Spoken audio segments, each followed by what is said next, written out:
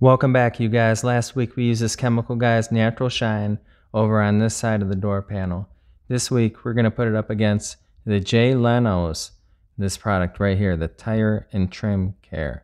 I know that sounds a little weird, but this is the only similar product that I could find from Walmart. And if you look down at the bottom, premium rubber and trim dressing restores worn and faded plastic. It's all the same stuff is on this one except for the vinyl protectant. I'm not seeing that on Jay Leno's. So we're going to give it a shot over on this part right here.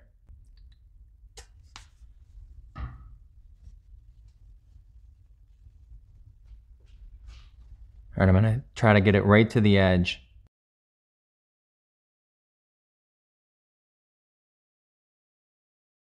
All right, we just have to let it dry. All right, I've given it enough time to dry. This is how it looks. On the squishy part up here, it's a little bit streaky. But once you come down here, remember this part, it had like water damage in the last video or some kind of a weird damage that you see in a lot of jam doors. That was taken care of.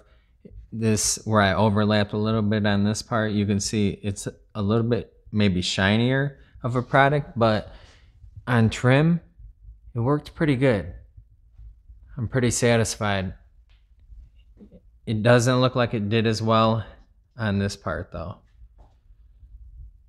So the chemical guys, it held up really, really well. Jay Leno's Garage, I recommend this product. You guys, it's pretty good. Maybe try another application on this part. But I did like the other product for it. Better right there. So appreciate you guys for watching. Please, you guys, like and subscribe. See you guys next video.